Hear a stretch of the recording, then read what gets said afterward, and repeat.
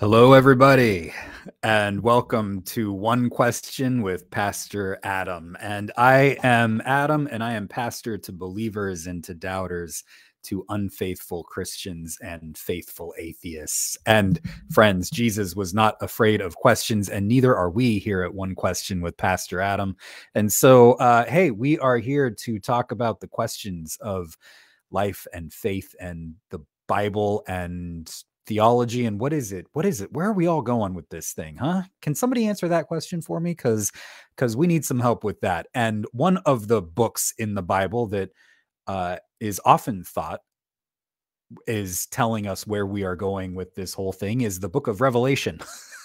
And there are all kinds of ways to interpret this book uh, the last book in the bible. It is uh, as you may know, it causes a lot of people a whole lot of anxiety, a whole lot of salvation anxiety, because we have tended to have read it as a map for the end times. But uh, as I have grown and learned about the book of Revelation, uh, it that is not primarily what we are talking about in the book of Revelation. The book of Revelation is a massive political, economic, and religious critique of empire. Oh man, can I get an amen in the chat section? We are going to have some fun today. So, hi, Star. Uh, good to see you. We are a little bit early today uh, because of some scheduling conflicts, um, but I am happy to say that we have here one of my dear friends, Dr. Ryan Hansen. And uh, Ryan and I met in seminary. We went to seminary together and met and just uh, had a great time. We were in the same program together. Uh, the program was to go on for uh, a PhD, and I quit. I was like, I'm done. Uh, mercy, people, stop it.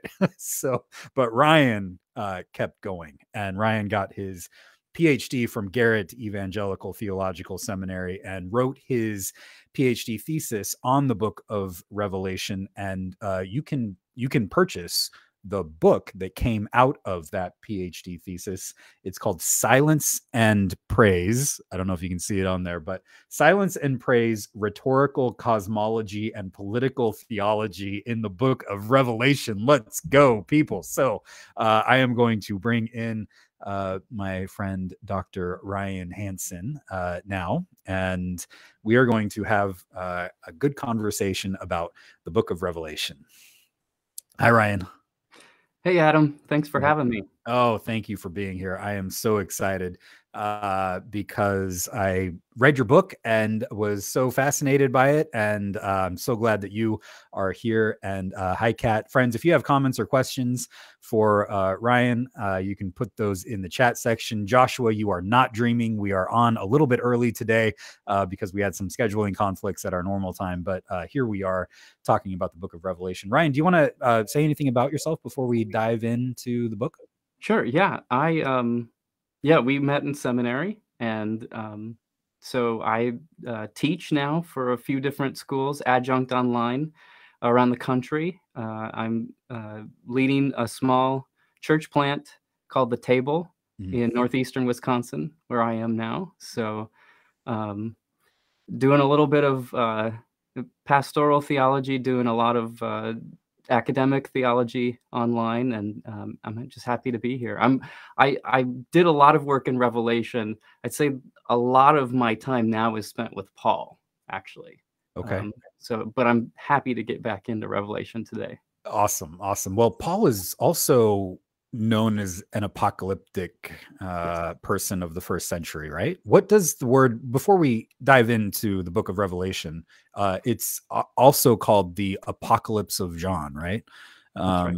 So, what what does this word apocalypse mean? Yeah, apocalyptic apocalypse uh, in the popular imagination today usually uh, evokes ideas like disaster, destruction, collapse of society, you know, uh, zombie apocalypse, yes. I guess is the popular parlance. Uh, um, but that's just a, kind of a complete misnomer for what that word means in its ancient context. It, it really just means uh, to be revealed, to be unveiled. So it, it has a sense of um, the academic definition of an apocalypse is uh, coined by John Collins. I'm not going to be able to quote it here, but um, it's a revelatory literature that gets at the transcendent reality that's behind Mm. what we can see, what we can sense with our senses, um, into the divine kind of realm. It gives us a it- pulling the curtain back to see what's going on backstage almost. Yeah. Yeah, it it gives us uh kind of a, a behind the curtain scene of what's going on in the divine realm, and and the divine realm is not something that's primarily somewhere up out there that's a mystical thing, right? The divine realm is like here, it's present among us. Is that does that sound right for the book of Revelation? I think it would be both and. I think there Okay. is an aspect of transcendence, spatial transcendence and temporal transcendence uh, out in the future, but it's also not removed, right? It's not meant to be completely otherworldly. The whole reason people write apocalypses is to talk about the here and now, Yes. but it's about the unseen, unsensed things going on uh, that you wouldn't normally just see if you Yeah. opened your eyes and looked across the street. Yeah, yeah. Uh, and the thing that your work brings out so well is we we typically think that the book of Revelation is a roadmap for the future, but it, it it may be both and right. It might be partly that, but what we tend to miss is the political and economic and religious critique that the book of Revelation is giving of empire. Is that right? Yeah, that's absolutely right. I think that um, uh, first of all, you mentioned like the roadmap idea. I think that's uh, really an unhelpful way to read Revelation. A lot of uh, bad theology comes out of that. A lot of anxiety comes out Yeah, of that. yeah. Uh, many of us probably grew up with hearing, you know, all the biblical prophecy of uh, this event is going to tie to this thing, and that means you know all this kind of upheaval and fear, right, is kind Yes. of driving that uh, Yes. m- mode. Um, yeah, the the apocalyptic writers and John specifically is writing an apocalypse to speak about the here and now, right? It's a message from the divine realm, which isn't necessarily removed, it's just unseen. It's trans it transcends what we can see, it transcends our own sense of time. They they speak about that realm to say something very concrete about the here and now. Um, they're specifically John's day and the churches he's writing to. He's writing a message to give them hope, to Mm. give them a sense of how to navigate uh, the the political world. Um, so I think um, we've got to see, uh, yeah, a both and. There, there's clearly a future that he's talking about. It's a future of peace. It's a future of Mm. uh, benevolent uh, prosperity for all. Um, I think uh, the death and destruction that's that's in Revelation. That's kind of the obvious stuff, right? That's the Mhm. obvious stuff for the first century audience of Revelation. That's the o- obvious stuff for us. I mean, all you have to do is turn on the news, and it's bad news, Yeah. right? That's not what has to be revealed. The Mm. death and destruction stuff is obvious to us what has to be revealed is that God is working um, despite that to turn it around, to redeem uh, human life and creaturely life, um, and to make make a future that is good. Mm. I love it. Uh, hi, Princess and Raylene and Lita. If you all have any questions or comments, please put those in the chat section. You you have to have some comments and questions about the Book of Revelation. Let's go, people. Okay, so um, so Ryan, what is happening in the first century to get John so upset that he is writing uh, this book uh, to these seven churches uh, throughout the empire? What what is what is his? If Revelation is a political critique, what is the politics of the Roman Empire that gets John so upset? Yeah, the the Roman Empire uh, rules by dominating power, um, by dominating peoples, putting down any kind of political dissent. Uh, so that's that's one way the the empire rules, and all empires rule that way, uh, Mhm. domination. But another way is um, um, economic extraction of goods from vulnerable peoples and the centralizing of that wealth to the elites at the the imperial center. So I've um, never heard of that happening before. Uh, right. Yeah, that's completely unfamiliar to us, right? how how are they doing that? What is what how how does Rome go about doing these things? Um, well, just by sending, you know, uh, battalions and and okay. Eh, occupying forces to places, and and so then they're in charge, and they can uh, exact taxes and and uh, extract resources. Um, yeah, kind of uh, colonization. Okay. In, in a lot of ways. Yeah. Yeah. Yeah. So what's happening in uh, that's also a uh, religious critique. What is happening in the Roman Empire with religion that gets John upset? Uh, yeah. Well, so John is a uh, first century Jewish Christian, and so like uh, all Jews of his day, uh, idolatry is a problem, right? So uh, he he worship worships Yahweh. He worships Jesus, and um, worshiping uh, idols is a problem for John. And and for John, uh, the idolatry on the one hand and the injustice of Rome on the other hand go together. These are not separate ideas. Um, so to to worship the Roman gods was really to worship Roman power, mm. and so uh, these go hand in hand uh, and and they did in the ancient world. Uh, Rome. Uh, it's uh, one of the things I trace in my book is the way that um, Roman idolatry really evokes a whole cosmos, a whole cosmology, with Rome at the center, Rome on top. Uh, that they dominate because the Roman gods want them to, and everything is in its right place when Rome is on top. That's the story Roman uh, worship tells. It's very similar to the prophets of the Hebrew Bible, right? They're uh, um, conservatives tend to say, "Oh, idolatry is just about worshiping the right God," uh, and that's there's probably truth in that. Uh, liberals, progressives say that idolatry is more about like uh, justice um, and there's truth in that too. Uh, and the problem with idolatry is uh, you start worshiping gods that don't care about what we would call today social justice. right? Does that sound does that sound fair?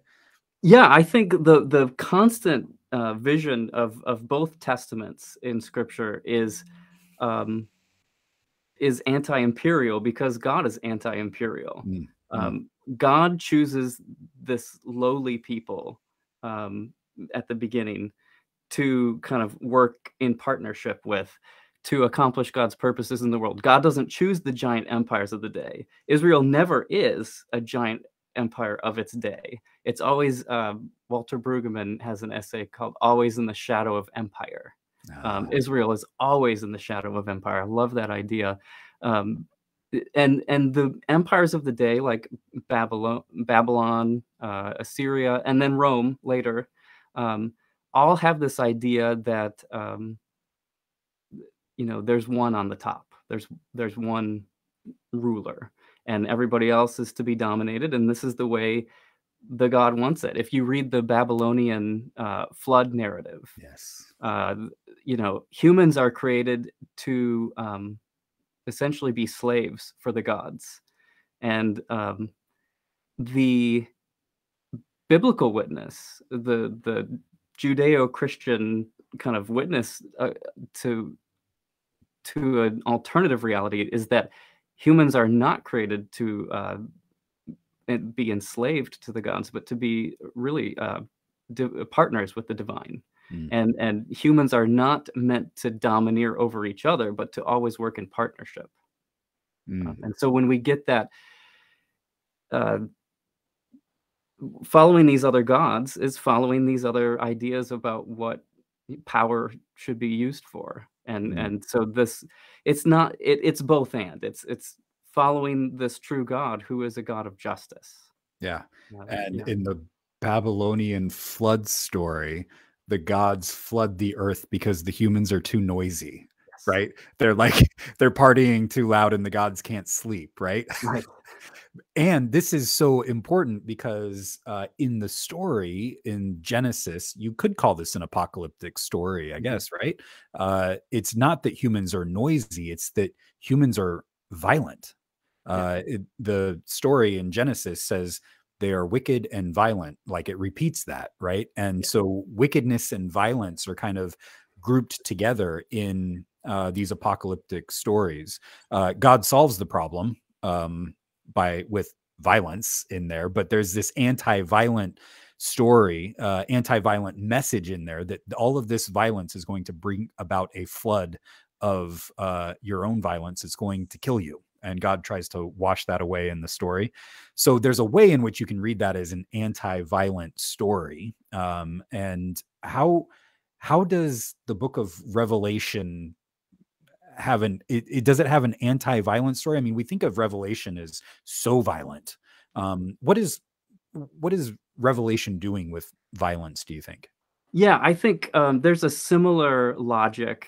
Uh, the flood thing is a, a rabbit trail, but Yep. um, uh, just to say real fast, um, it about the Genesis flood story. It's disturbing, but if you follow the logic, the flood is is letting chaos have its way, which is really what the humans were doing, right? By killing each other and and flooding the earth with violence. God just kind of says, "Okay, if this is what you want."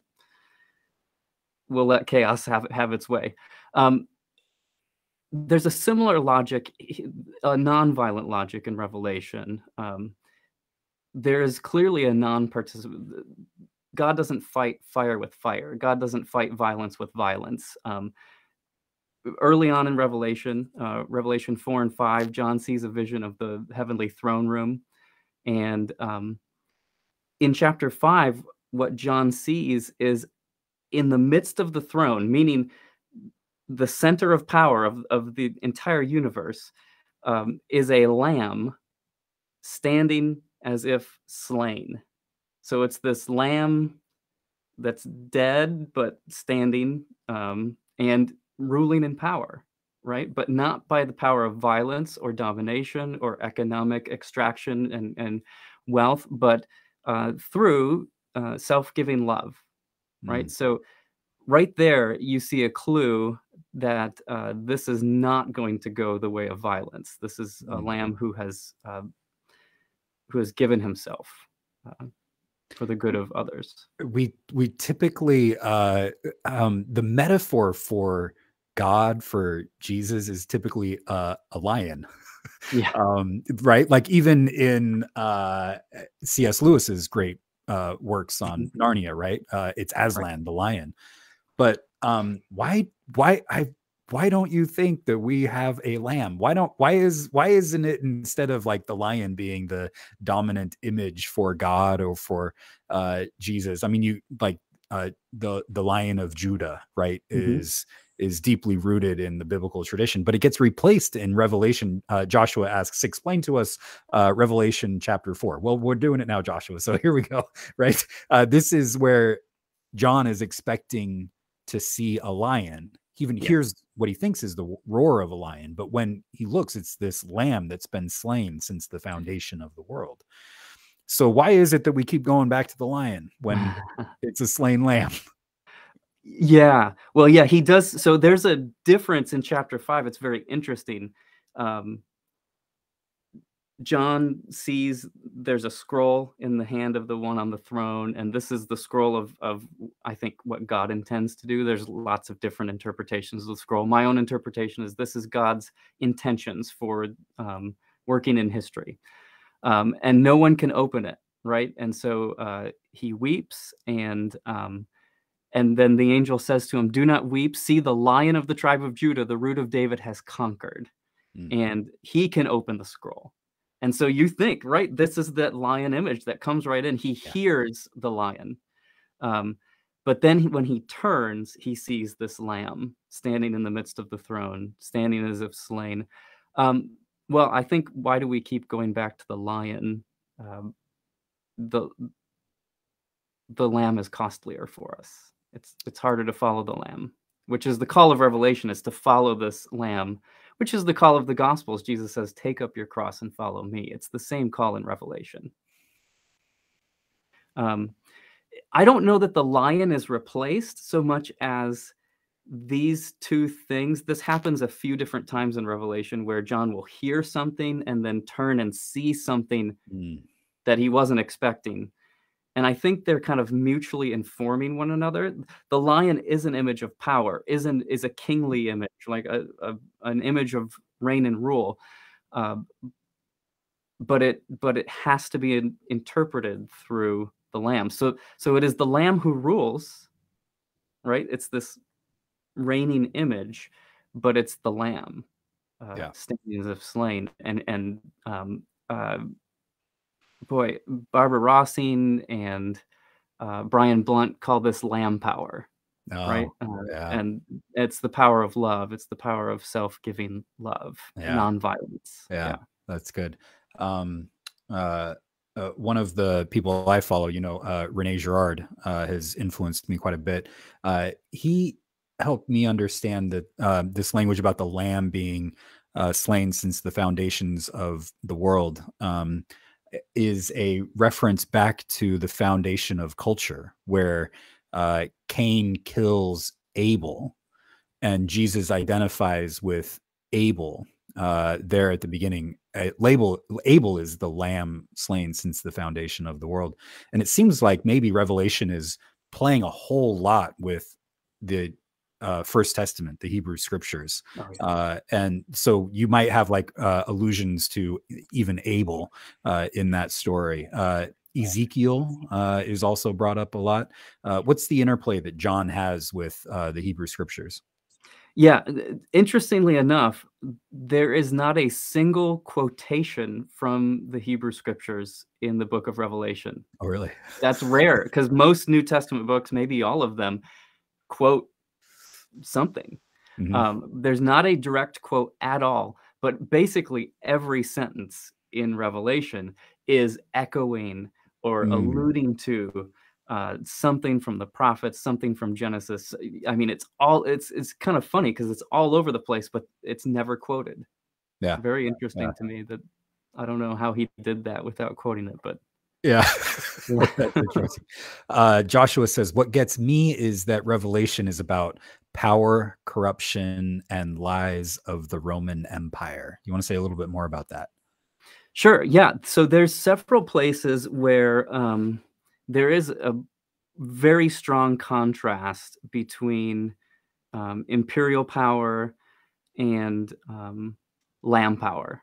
And so mm. one of those places is, um, well, there's it's all over the place. Mm. One of mm. those places is chapter 13, though, uh, where the beast comes out of the sea and um, the people worship the beast. And this beast is is very much meant to to invoke imperial power domination and um, i'll just go there the uh,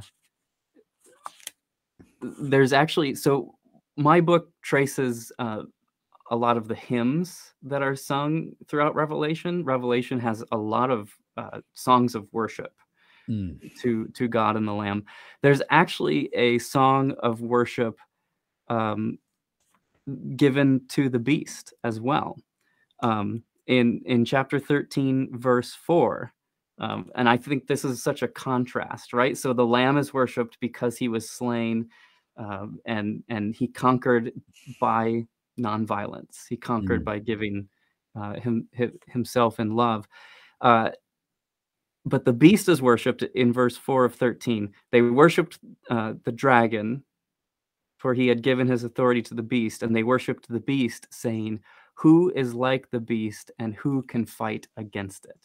So mm. the hymn of worship is this hymn to dominating violence. Who can fight against the beast, mm. right? And uh, that's I.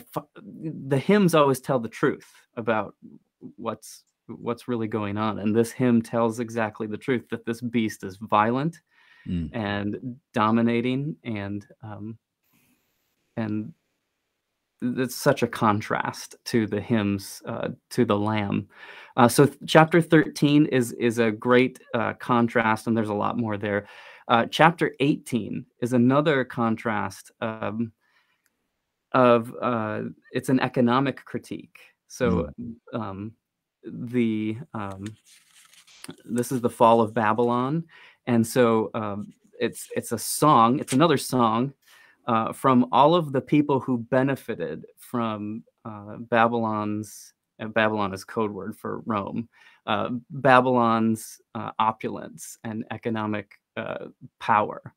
Uh, so it's the merchants and all the other people who who made themselves rich by participating in that un, uh, unjust economy, and um, so you see uh, the the song of woe here about all of this stuff, and and you can see what they're lamenting, the loss of what they're lamenting um, is all of the resources that were extracted out of these outlying areas. And John is writing to one of those outlying areas, Asia Minor, right? Yeah. Asia Minor is not the center of empire; it's it's on the margins. Um, but the, all of these people are lamenting the loss of the cargo that they used to trade in, and even lamenting um, that they used to trade in human souls and uh, slavery. And so yeah. uh, you can see there's a critique there. Yeah, it's it's interesting because um, you you had said earlier that uh, we want to keep with the lion imagery because the lamb imagery is so costly, right? But what Revelation is also saying is that either one of these options is costly. Yeah. Right. Like the way of revelation, and that's what like the the curtain being revealed mm-hmm. um, is getting at, right? Like yeah. you don't see how much the way of Rome is costing you, is costing maybe even like the people who are in power, uh, mm-hmm. right? But certainly costing uh, those who are on, on the underside of uh, of power of empire, uh, and that's where like you get to see the connections uh, today to what you might call the American empire, right? And how costly it is um, the ways that that empire is working and destroying us too. It's like um, Heather McGhee's book, uh, How Racism Costs All of Us. Yes. Not just black people, but white people and everybody. Yeah. I, I think James Baldwin made a point about that too. Like it's it's costly for black people, but it's it's stealing the soul of racists as well. And mm-hmm. I think that that's yeah, that's a really insightful point about Revelation. Is um, it's problematic for all the people that are being put down and and oppressed. It's it's costly for those folks who are being uh, having their resources extracted and having to live hand to mouth. Right? They they have resources, but they're they're being taken to Rome, yeah, uh, to the elite. Um, but it's also i think one of the things that john wants to say you know uh, this is symbolic language mm, right it's mm. not, it's not like when we see all these things with 10 horns and things you know just try to sit down and draw a picture of that you can't right, yeah. right? it's not meant to be like this is literally going to happen it's communicating on the level of symbols to say yeah you're making um, a dystopia you're making a hellish place here and this is this is the outcome of that.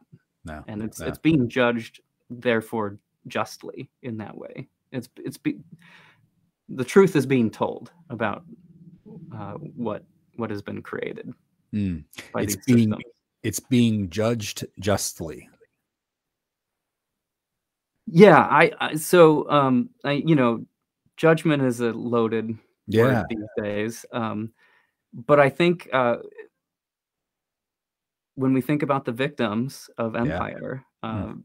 telling the truth is uh, talking about judgment and justice to say like this is wrong. Mm. Uh, there's a better way to do this, and uh, we shouldn't live with this. We shouldn't just say, "Oh well," right? like people are getting, uh, you know, people are refugees are are getting swamped in in uh, oceans as they try to find a, a place that's free of war and famine. Oh well, right? Like no, we should say that's wrong, and we should do otherwise. That's judgment. Mm, I love it. Is that how you interpret the cups of wrath that are seen in kind of the middle sections of the book of Revelation? Because wrath yeah. is also like, you know, a loaded term. um, yeah. What's going I- on with those cups of wrath? Do you think? Yeah, I don't love the term wrath uh, these days. I think it, mainly it's it's an English translation of a of a Greek word. We can translate it otherwise. David Bentley Hart has helpfully, for me, translated it as um, indignation. Um, Ah. He does this in Romans. I'm, I can't remember if he translates it um, that way in Revelation, but I think it would work because what is indignation? It's justified anger in the face of injustice Mm. right and i Mm. so wrath the etymology of wrath it comes from like a word that talks about cruelty Yeah.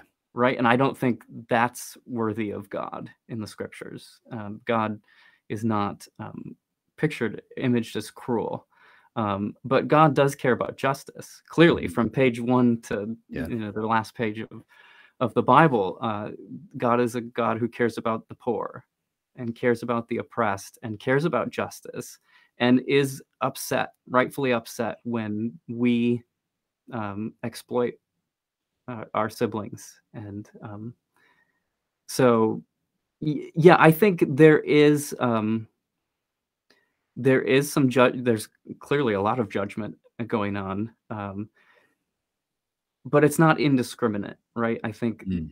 the key in revelation is it's not just like destruction being visited upon random like wherever and everything um it's it's focused and again revelation is communicating at the level of symbols. So one of the symbols is worship of the beast right? Is this constant like like bob dylan said you got to serve somebody right? It's going to be the Mm. in in revelation schema it's either going to be the lamb and following lamb power or it's going to be the beast and following beast power. And you know that there's just in john's worldview there's no middle ground. Um, and obviously we would talk about complexity outside of the literary nature of revelation. But in the in the literary imagination of john there's there's these two ways. And so the judgment is visited upon those who worship the beast who who benefit from uh, beast power. Mm. um, and lamb power is really entering into this costly alternative. And, and we're bad at that. We just try right? Yeah. like that's the best we can do is try to opt out in ways that Mm. we can to say no we don't want to participate in uh, these structures and we're going to try to make better structures that are um, that are more just and equitable That's the response that John wants us to have to these oppressive economic and political and religious systems is in your book, uh, the title of your book is silence. Uh, so it's kind of this non-participation in those systems. Is that what John is trying to get us to do? Yeah, so you know, sometimes people have a sense that Revelation is about um, widespread persecution happening for Christians, and there's most scholars uh, now say there's no evidence that that was going on when John was writing this. There's no widespread persecution that happens later. Um, there is some persecution under Nero, but it's not systematic and wide widespread. Um, that's a later thing. Um, what John seems to be concerned about, especially when you read the seven letters at the beginning, uh, the, these letters from Jesus, that uh, actually comfort and uh, cooperation with these uh, unjust systems is the problem, and and Jesus in these letters is trying to wake them up from their comfortable slumber and say, look, you've got to be faithful. Uh, you're too comfortable. You're too wealthy. You're too uh, you're too entrenched in these systems. And so, yes, in my book, I trace this. I the the um,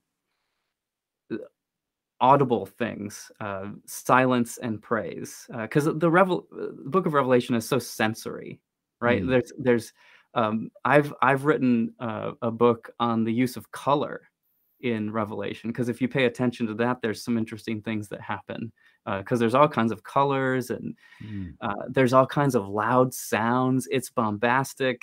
I, I think we've got to do a better job of reading this book uh, with our senses. Mm. Um, and we'll pick up some things that we haven't seen. But I do trace the, the audit, auditory things here. And so silence I'm reading as a um, as an image of non-participation. Um, for if you read the book, you'll see there's there's the three cycles: um, the seals, the trumpets, and the bowls. Um, and so they each kind of deal with uh, with silence in their own way, and each deal with uh, some noisy praise. So silence, I, I read as the non-participation in these systems. John is calling them to, uh, and at the end of Revelation, there is silence um, in Babylon. No more will be heard the sound of the mill workers or the celebration of the bride and groom. Right? There's the, the very mm. evocative, like uh, this is a ghost town almost. It's just eerily silent. Well, what do we see in the next chapter? We see the wedding feast of the Lamb mm. and and the Lamb's bride. So there's no wedding celebration in Babylon, but there's a boisterous wedding celebration in the next chapter. Uh, and so um, silence is the non-participation and praise is where the real party is at is what john is saying like praise is mm. the uh, kind of just participation in in the new creation. And mm. that's what john is trying to get his audience to do to to try to disengage from the idolatry and injustice of their own day uh, which is costly but showing them that there is um, benefit to that. It's not just all doom and gloom right? Like there's a new creation that you look forward to.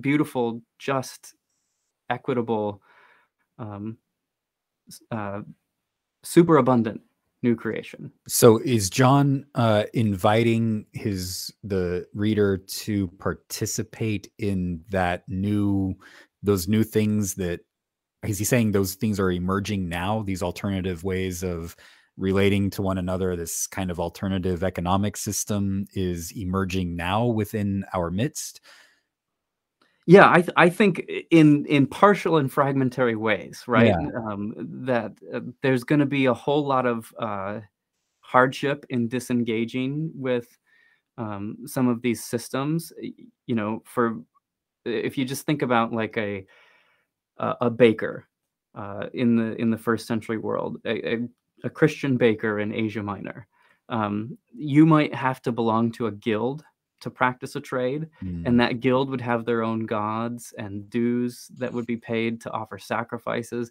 and john is calling them to to not do that or there were sometimes um, parades through town and the city council would give out money to the citizens uh, to decorate their homes to honor the gods and so if you're a christian uh, and you get money to decorate your home for this celebration, but you don't do it, uh, it's going to be very conspicuous. You're going to stand out. And then you might draw some ire from your neighbors. Um, people might, if you're a baker, people might stop coming to your bakery. Uh, so it's not going to be easy. And so the constant call is patient endurance in Revelation. Um, that's repeated again and again. This calls for patient endurance of the saints. Mm. It's not mm-hmm. going to be easy. But in the meantime, yes, I think um, obviously to disengage for John from some of these unjust and idolatrous systems calls for true worship and uh, just participation, you know, share, economic sharing uh, amongst the community.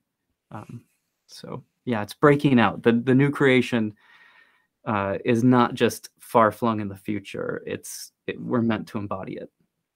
Uh, Raylene says, after my SBC upbringing, I just enjoy discussions on Revelation that are time slash culture related and make more sense than the fear and intimidation drilled into me as a young person. Yeah.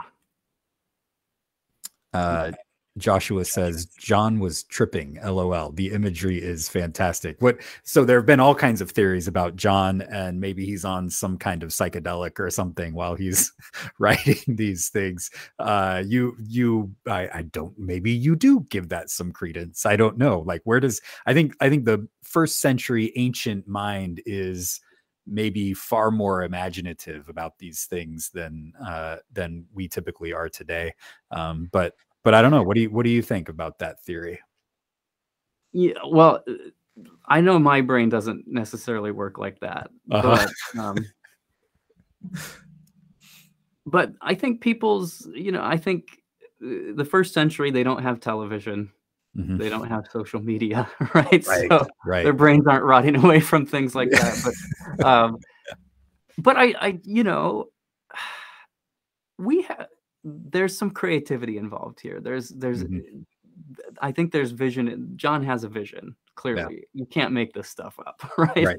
Yeah. Uh, there's something mm-hmm. happening. He sees something um, and often enough, I think he's a little flummoxed by what he sees. Because um, throughout the book, he says, I saw something like this thing, right? Yeah. Um, so it's not exact. You know, I think he's a little overwhelmed by what he's seeing. This is, you know, like when you have a weird dream, you're like, I don't know how to make sense of that. He's something like this thing happened, right? Um, so even John is is a little overwhelmed by it. But I I think about we've got we've got creative people nowadays, so mm-hmm. people's mm-hmm. still work in these kinds of, you know, how, how do you? I don't think you have to be on a substance. It's just uh, you have to have that kind of. Uh, somebody said, um, uh, I think it was Joshua said, read read Revelation with the right side of your brain, right? Like yeah. John, I think, is a right-brained person. Uh, yeah. Paul is very left-brained, right? Like he's okay. rhetorical, his arguments are linear, and uh, but but John is all over the place. It's kind of hard to read Revelation unless you're reading with the right brain. Yeah, yeah, yeah. I love it. Uh, Joshua also says, uh, now are there two or three stories happening simultaneously between chapters five and 19? Um, ah, that's that's so specific. I don't know if you can answer that, but uh, there's probably a lot of things happening between chapter 5 and 19 uh, but i did want to bring in chapter 19 i think it's in chapter 19 where jesus comes back on the horse and uh, yeah. right and has yeah. the sword coming from his mouth and mm-hmm. uh, kills all kinds of things and this is a sort of a problematic uh, passage chapter in the book mm-hmm. of Revelation. It's been used by many Christians for Christian nationalism and Christian power. And uh, yeah, Jesus might be the lamb at one point, but he's coming back with a sword in uh, with a sword and tattoos on his legs, and he's going to cause all kinds of hell and kill all kinds of the bad guys. Um, right. And so, what what do we do with uh, Revelation 19 and Jesus with the uh, sword coming from his mouth? Yeah, yeah, and his his robe is dipped in blood too, right? So I mean, lots of imagery that if you want to interpret it towards violence, it, this text can do a lot of damage. Um, I think one thing that's really important is to see um, we've got to see the whole book of Revelation together, and we've got to see it as a, a literary whole. I think sometimes when people piecemeal revelation up and then try to connect different things to different events in the world, whether those are like world historical events through the centuries or whether they're uh, current events like the Russia Ukraine war. I'm sure I, I don't follow biblical prophecy, but I'm sure they're having a heyday with that kind of stuff uh, right yeah. now. So, um, that's that's to piecemeal the book up, and I think that works against our understanding we've got to remember that um, there's uh, there's like composite imagery for for Jesus here. Jesus is imaged as a lamb. At the very beginning of the book, he's he's in the white shining garb. His face is shining, mm. right? So that's a different image. We've got an image of one like the Son of Man coming from Daniel. He's on a cloud, right? So from Daniel's vision, um, there's an image there in in uh, chapter 16, 17. Um, and then, yeah, in 19, we have the rider on a white horse um, with a sword. But it's, I think it's significant that the sword is coming out of his mouth. This is speech. This is the word of testimony, which is again constantly uh, brought up in Revelation. Is that lamb power is the the people that follow the lamb their power is in their testimony their witness uh, brian Blount has a great book called can i get a witness where he mm. connects mm. uh, lamb power to the civil rights movement and to hip-hop music as as testimony um, I highly recommend that book it's just fantastic um, and so um, yeah, it's the sword is coming out of his mouth. This is not um, is not a sword in his hand where he's going to cut down uh, his enemies. Uh, this is the word of his testimony, which is constantly that's from the very first image uh, of the lamb, right? The the uh, power of his testimony is is held out, and um, in Revelation 12, uh, the people that are um, I'll just go to that too. Um, so Revelation 12, uh, verse 10 Then I heard a loud voice in heaven proclaiming, Now have come the salvation and the power and the kingdom of our God and the authority of his Messiah, for the accuser of our comrades has been thrown down, mm. who accuses them day and night before our God. But they have conquered him by the blood of the Lamb and by the word of their testimony. So they conquered by the lamb's blood, not other people's blood, not shedding other people's blood, and by the word of their testimony to that victory. And so here we have the sword coming from the mouth. That's the word of testimony. And his robe is dipped in blood, but we've already seen countless times in chapter 5, chapter 12, all kinds of places. This is his own blood, mm. uh, that he's not out to shed a bunch of blood. Yeah. Yeah. It, it goes along with the, what what I think is the fundamental ethic when it comes to violence and nonviolence throughout the New Testament, but especially in the book of Revelation, uh, where it says uh, to the people of God in Roman, or sorry, Revelation 13, uh, that if something like if you are to be taken captive into captivity you shall go. All who live by the sword die by the sword right so mm-hmm. there's there's that reference to jesus's uh, statement when peter cuts off the the uh, soldier's ear uh, and jesus says put your sword back in its place for all who live by the sword die by the sword this seems to mm-hmm. be uh, the ethic the, the nonviolent ethic that runs throughout uh, the new testament that you see so clearly in the book of revelation it seems to me especially in revelation 13 and when they have like when the, middle sections i think it's 17 and 18 of revelation where it talks about the wars of the the kings to the north and the kings to the south go to war against each other all of the human violence yeah. is done by the kings of the earth not by the people of god who are told to be maybe not passive in the face of violence but to to live in a non-violent ethic that, as John Lewis says, will cause you some good trouble, and they might come after you because you are causing that kind of good trouble, right? Does that does that make sense? Yeah, and that's again that patient endurance. Yeah, uh, that's that's called for. Um, uh, the the word uh, in Greek is uh, hupomone, remaining under, is the mm. image that word says. So it's like kind of patiently enduring the the thing that's happening without uh, violently resisting it without pushing against it in, yeah. that, in that kind of conflictual way. Yeah, I don't I don't know, maybe John can't get beyond violent imagery or something. I don't know because in Revelation 19, uh Jesus has the sword coming from the mouth uh and but he doesn't go into a whole lot of detail uh, describing this war of the lamb or war of Jesus or whatever. Uh, but he does strike the nations with the rod, mm-hmm. right, and destroys the nations. I think that's I think it says something like that. And then uh, the kings of the earth are killed in Revelation 19. But what happens immediately, like in the next chapter, is you have the tree of life, which is for the healing of the nations. so whatever is happening in chapter 19 is not the end of the nations there's the healing of the nations that's going to come right and it's not yeah. the end of the story of the kings who throughout the book of revelation are almost scapegoated maybe they're mm. they are like the cause of all the problems of the earth they are the ones who are um committing fornication with the beasts right? This is this is like the kings are like the big problem here uh, when it comes to like the human level.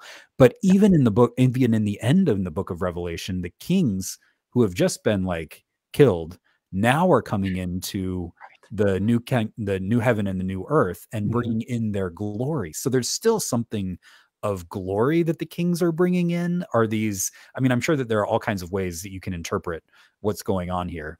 It could be like different kings, but uh, the book of Revelation never talks about different kings. All right. the kings are bad and wicked.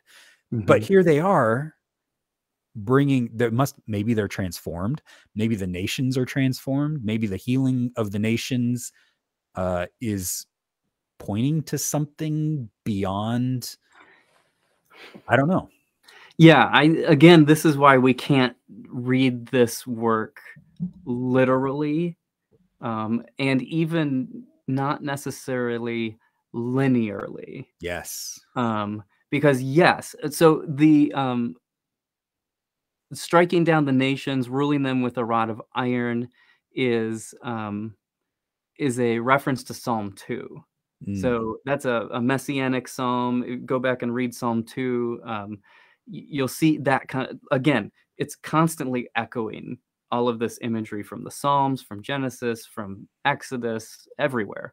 Um, but yes, if if the kings are all killed right in 19 and then um man they're also like thrown in the uh, the lake of fire in yeah. chapter 20 yeah. after they were killed yeah uh, and then in chapter 21 they're entering the city they're bringing their their glory into the into the city um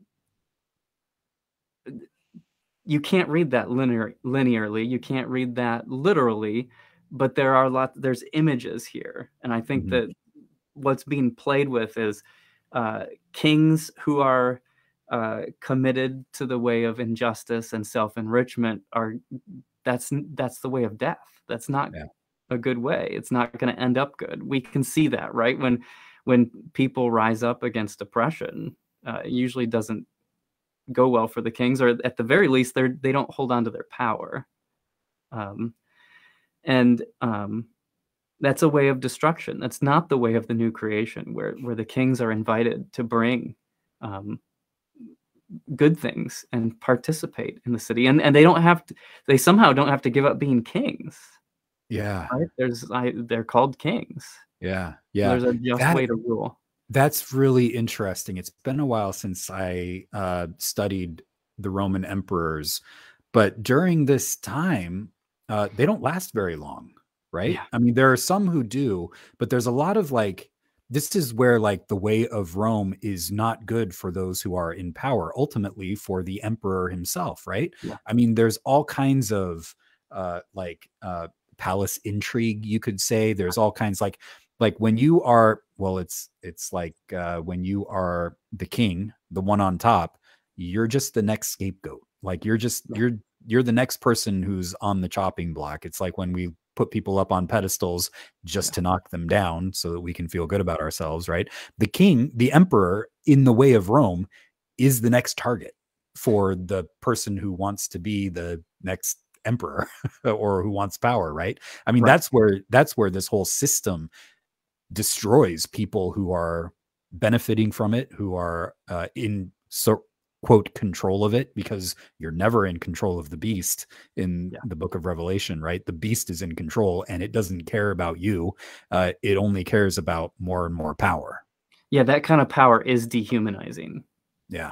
Um, and, and, and we see it like we see it in our world but yep. I, it reminds me of the twilight episode uh, twilight zone episode uh, the, of the dictator who's constantly worried about like who's gonna like come after his power and in the end of the episode like he looks in the mirror and i think the mirror image like kills him right? Oh. like that's it's it's actually himself like it's his love of power that does him in. Yeah yeah. And his fear of losing it so oof, oof. but the gates are never shut in the new creation right? So i again like all of these people uh who were supposedly done away with right? This is i think one of the things that i've i've seen you know that I didn't see earlier reading Revelation, um, but I see now is like all of these people were supposed supposed to have been done away with.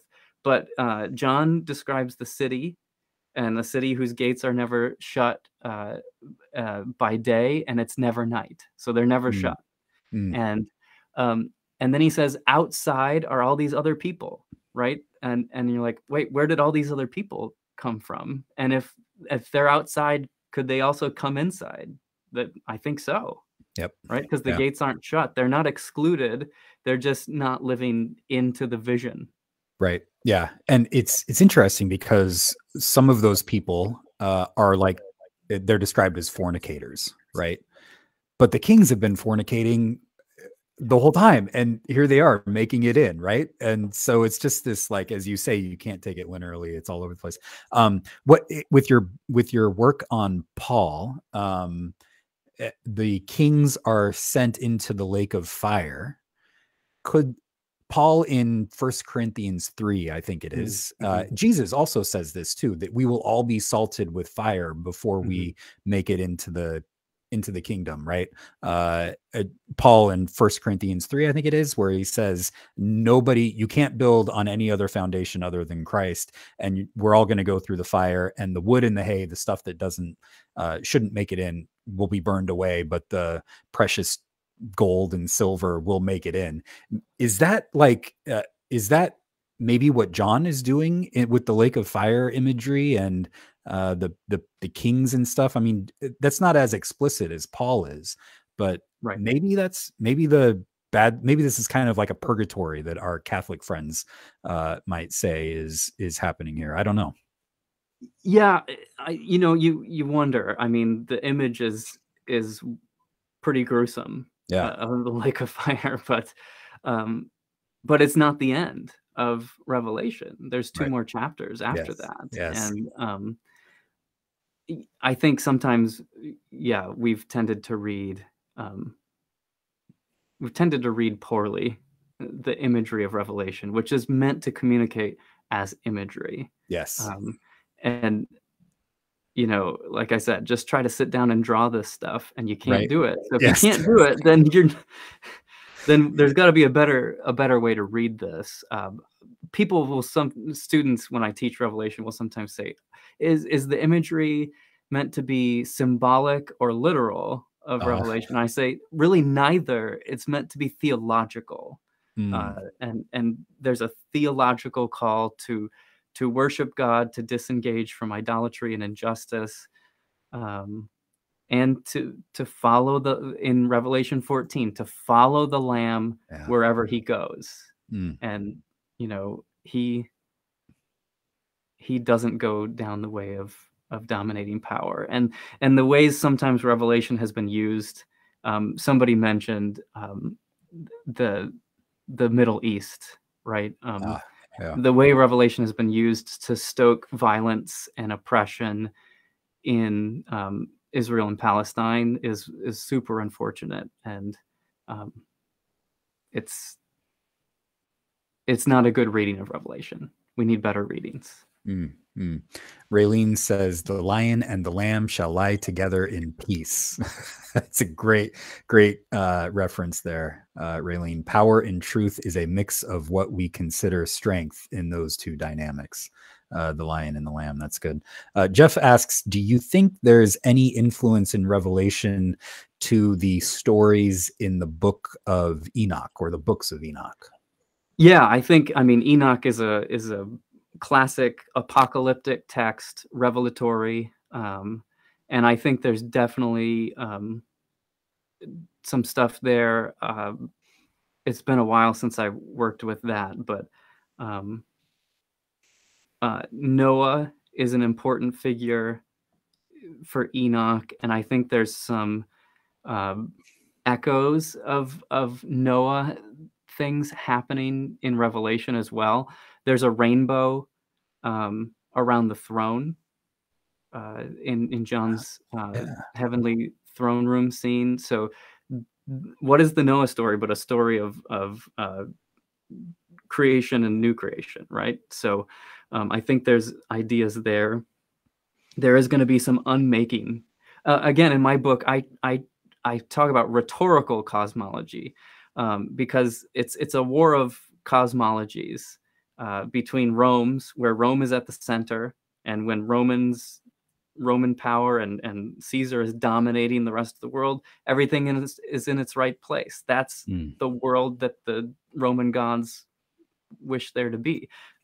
you know, we we think about this way in in American empire, right? When America's on top, that's the way God wants it. God bless America is not we want God to bless America. We want God to bless yeah. the whole world. But when usually when we invoke that, it's about God bless our power and domination and and um, and our elitism over everything else. Um, John begs to differ. He has a different cosmology. So there's an unmaking of that Roman discourse. This is what, what my book is getting at. It's it's not meant to be literal, like destruction of the earth. That's not what God desires. But it's this unmaking of the Roman hold on mm. the cosmology and the emergence of this new creation, which is mm. with the Lamb at the center. Well, this is this is getting at uh, one of the big questions. Uh, uh, Joshua says, would we say Revelation is specifically about Rome? Uh, and as I was reading your book, I was like, um, you know, Babylon is this symbolic word for Rome, right? Uh, and there are all kinds of empires that the book of Revelation talks about. But really, it's about, uh, it seems to me like it's about uh, the way of, you might call it the way of empire or uh, the way of power or something like that, which is not it, which for the book of Revelation is about Rome because mm-hmm. that's mm-hmm. the uh, historical context that it's in, but it's about any kind of uh, way of life that is about power and domination over others. So uh, Revelation's critique would be just as valid in any other kind of empire. I think so. And that's yeah. why John can call Rome Babylon, right? Yeah. That there's a historical precedent for that. And, um, and clearly there's, uh, there's things that follow after Rome that, that uh, would be critiqued under the same banner. So, uh, um, what, what does this all mean for those of us living in the American empire? like, like, am I supposed to like, uh, how, how do I, uh, what would John say uh, about uh, the United States uh, today?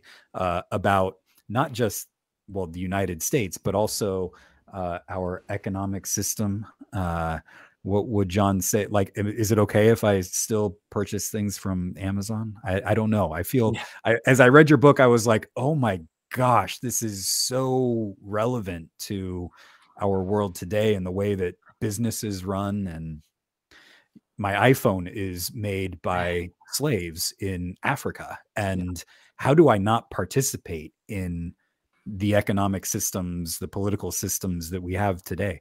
I just feel like John would be writing to the churches in the United States and mm. being like, you have no idea what it is that you are participating in and yeah. how awful it is. Right. Yeah. So I think definitely uh, there is a word of critique for um, those who are comfortable and comfortably entrenched in and benefit from systems of oppression. Um, there is a word that should cause us some discomfort, or more than a little, probably.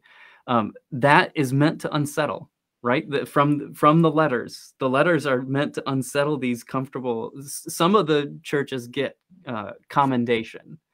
And it's because they are not comfortable. They're suffering. They they are undergoing costly witness to the way of jesus. And jesus says hey you're right you're right where i want you to be right? This is this is good because you're not participating in this in idolatry and injustice. Um, others think they're doing great you know um, and he says you you think you you've got everything together but you don't realize that you're you're poor and naked in the dark right? Like, yeah yeah. that's the truth of wh- where you really are. And i think that's the word of critique that would come to us and it is it's a hard word. Um, what is not called for though is a heroic effort. Um, mm. um, this is not an individualistic calling because um, you can't disengage from systems of impression of, of oppression on an individual basis right? It, it's it's a systemic problem it's going to call for a systemic solution. And so one of those calls i think is to um, at least what I see in John, it may differ a little bit in our context, but is to get communal, right? Are there mm. ways that we can get uh, what we would call churches, right? Like groups, yeah. uh, groups of folks who want to um, imagine a better way to be human together, um, and and actually start to practice that to share food, to share resources, to care for um, people that are suffering under, um, you know, uh, unbridled capitalism, uh, to house people without housing. Um, things like that, um, I think, are that's the call. So it's not a hero like. I mean, should we not buy stuff from Amazon? I, have got to look at mm. myself in the mirror, right? Right. Yeah. So uh, I'm too comfortable probably. And so uh, there are better ways. Um, I'm not going to be able to do the the better ways thing just by myself. I'm going to have to find a community that's going to live into, into this together. So it's a critique, but there's also a word of hope um, that uh, there are better ways. Revelation 21 and 22 shows us um, a way of uh, non-violence, a way mm-hmm. of abundance rather than scarcity that creates kind of fear, right? When we think about there's scarce resources, what do we do? We close the gates. Well, the the heavenly city's gates are never closed. Right? There's not a fear of scarcity. There's a sense of abundance.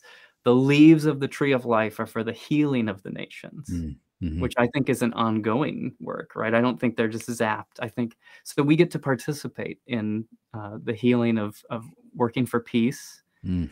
Um, now, there's a whole, you know, what's not addressed a lot in Revelation is the folks who are run under the wheel of empire, and and um, you know, because a lot of this is addressed to the comfortable people.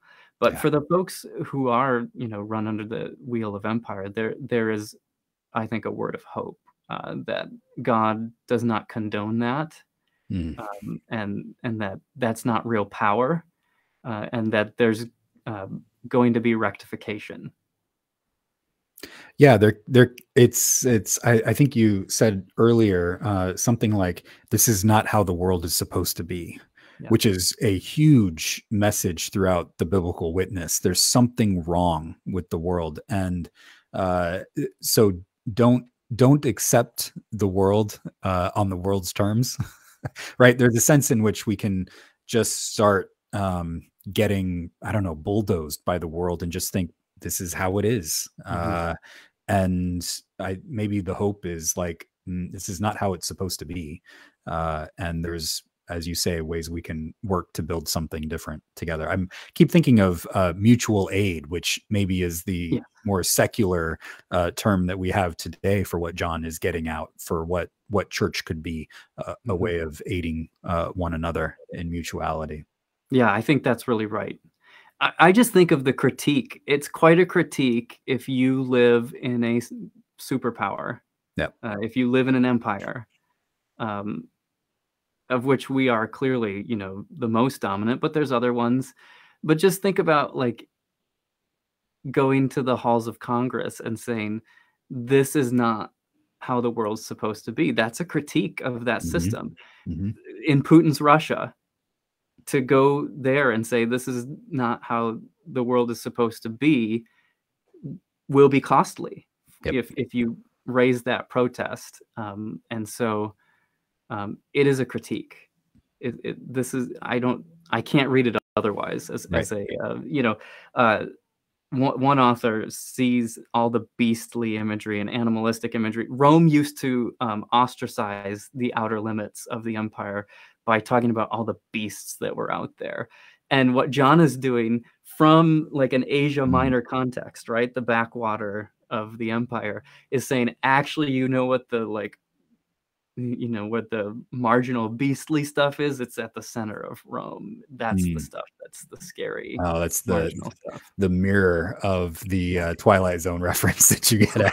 that was that was perfect uh, hi rhonda good morning to you and uh, Fatima says maybe about ego. Yeah, I, a lot of a lot of ego and dying to the self that the New Testament uh, calls us to. Um, it's good good observation there. And Princess says, "Thank you, Dr. Hansen, for your insights. Uh, thank you for this, Ryan. Anything else you want to you want to say about the book of revelation before we before we wrap things up? I think we covered a whole lot uh, in an hour and it's always a pleasure to talk with you about all well, kinds of topics so. yeah thank you adam and and to everybody who who listened and comment great comments and uh, got me thinking right uh, and questions that that were challenging so i really appreciate it. Um, i think revelation should be read. Um, read uh, read it closely um, read it with a good guide. So there's lots of good uh, books out there. I, I, think one of the more accessible ones uh, is Michael Gorman's book, Reading Revelation Responsibly. Mm-hmm. Uh, that's a really helpful text to get into this. I, I also like Richard Bauckham's uh, The Theology of the Book of Revelation. I've called that the best book written on Revelation. Oh, wow. Um, it's really, it's pretty tiny, but it's jam packed um, he really gets into the imagery. We have to read this. Um, I, I really liked um, uh, Joshua's um, reading with the right brain because that's exactly what mm. I want to do. I I want to. Um, one of the projects that's on the back burner for me is um, doing a a book that attends to sight and sound in Revelation uh, yeah. as as interpretive keys. So yeah. I love it. I love it. Well, Ryan, my friend, thank you for being here. It's always a pleasure thank talking you. with you. And uh, thank you, everybody, for uh, watching. And uh, you can keep up with One Question with Pastor Adam wherever you listen to your podcasts. If you listen to a podcast uh, platform where you can rate and review, I would love for you to do that for me. It helps get the message out. You can share this episode with uh, anybody you think you might be interested uh, uh, Jeff, I will try to post these book references uh, here on this page. Uh, and uh, yeah, we'll we'll do that. Um, and uh, friends, we will do this all again next week, uh, Thursday. I think at our normal time, eleven o'clock Pacific. Until then, friends, uh, hope you have a great rest of your week, and God be with you. Bye, everybody.